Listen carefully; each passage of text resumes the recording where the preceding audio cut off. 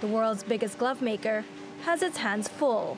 Thousands of workers at Top Glove in Malaysia have tested positive for COVID 19. The government has put 60% of its factories and some of its dormitories under lockdown.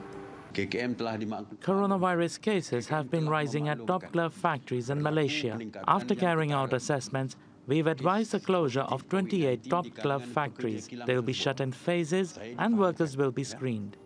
60% of the world's glove supply comes from Malaysia. It's cornered the market due to its vast rubber plantations and government support for the industry, which generates billions of dollars in sales each year. While many sectors have struggled during the pandemic, the rubber industry has thrived. According to the Malaysian Rubber Glove Manufacturers Association, demand has jumped by at least 30% this year due to COVID 19.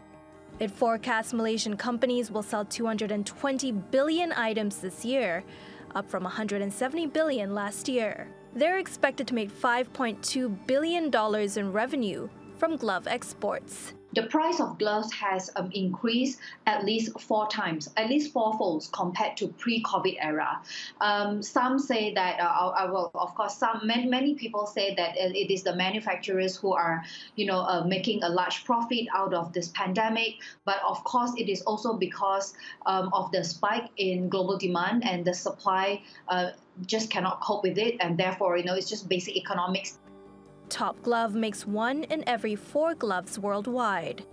The Malaysian company recorded its best ever profit for the quarter ending in September, raking in $315 million. That's a 1,600% increase compared to the same period last year.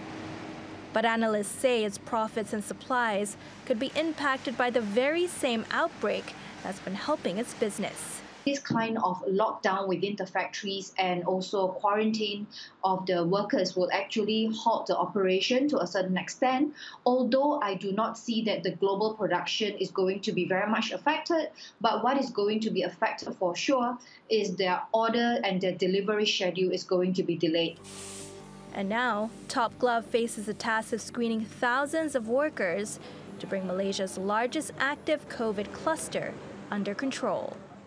Natasha Hussain, TRT World.